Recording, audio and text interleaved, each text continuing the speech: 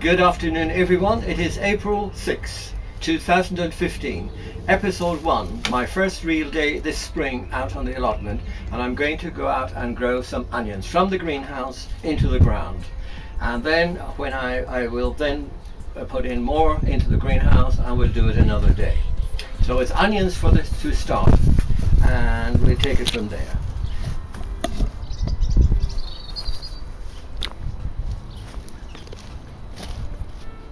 The first the first onions I'm putting in uh, to the ground I've made holes about six or seven inches apart.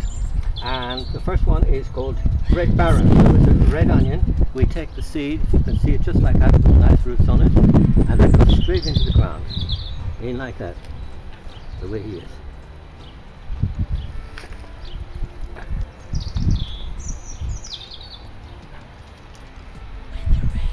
that's Red Baron. Lovely looking roots on him there. He goes straight into the ground, roots down, and we put him about the same way as he was. So there we go. A Good start for the Red Baron. Okay, I'll, I'll finish off those and show you, show you more. So I have put in one tray of Red Baron in here and I have another tray to go in here so they're the red barons, that's the way I got them out of the greenhouse. And good nice big roots on the bottom of them, but they wouldn't last many more days. So we get those in without further ado.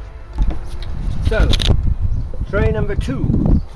Uh, now this is the way I do it. Uh, the, the roots are on the bottom already, so all I have to do is to loosen out this, put them in, and put them in exactly the way they were same roots and everything.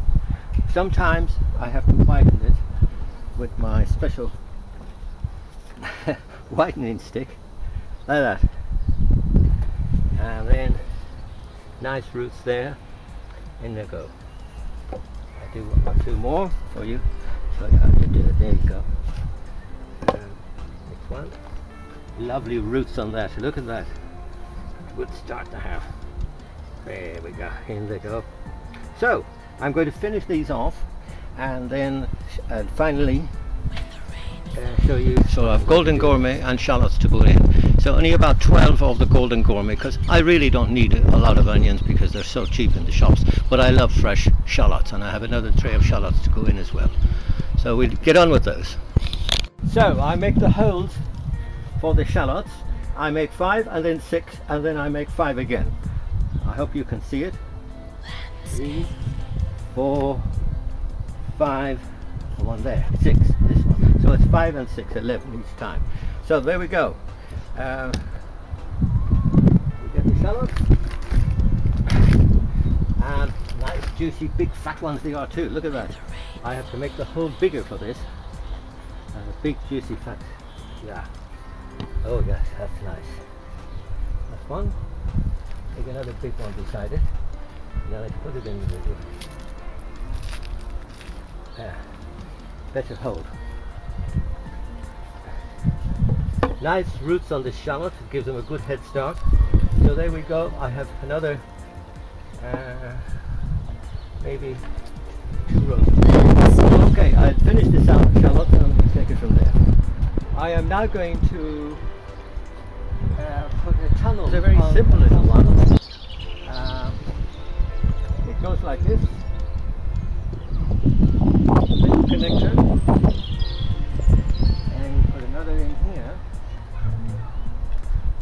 And you bring it across like that. And down it goes in there. Same height as that one. And I continue doing another one here. So here's the tunnel. Um, well, that's the end of my first spring day um, on the, uh, on the plot. I've got onions in and I have a tunnel put in and I have laid the way now to put more uh, seeds in the greenhouse and we started from there. I thank you very much